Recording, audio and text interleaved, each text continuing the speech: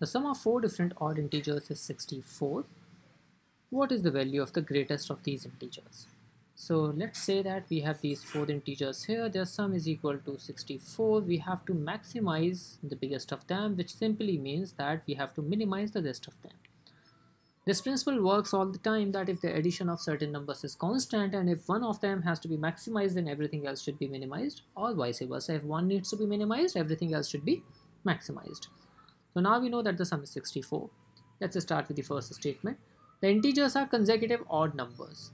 So if the integers are consecutive odd numbers, then we want, then there is actually no way we can maximize the numbers because then the sum has to be fixed. We know that the first number is a, the next number is a plus 2, the next number is a plus 4, and the next number is a plus 6.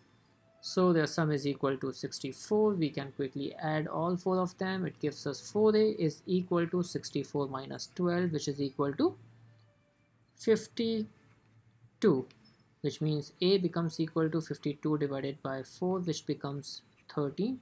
That means a plus 6 which is biggest of them is equal to 13 plus 6 that is 19. So we know the answer.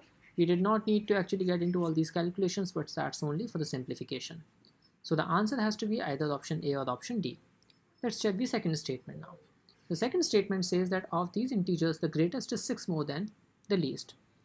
So that once again ensures that the four numbers, the four odd numbers that we are taking must be consecutive because if we take the smallest number a and leaving the two places open, the largest number has to be a plus 6.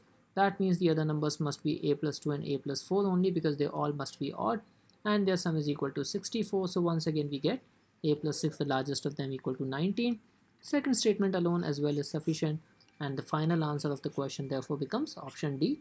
Each statement alone is sufficient. Thank you so much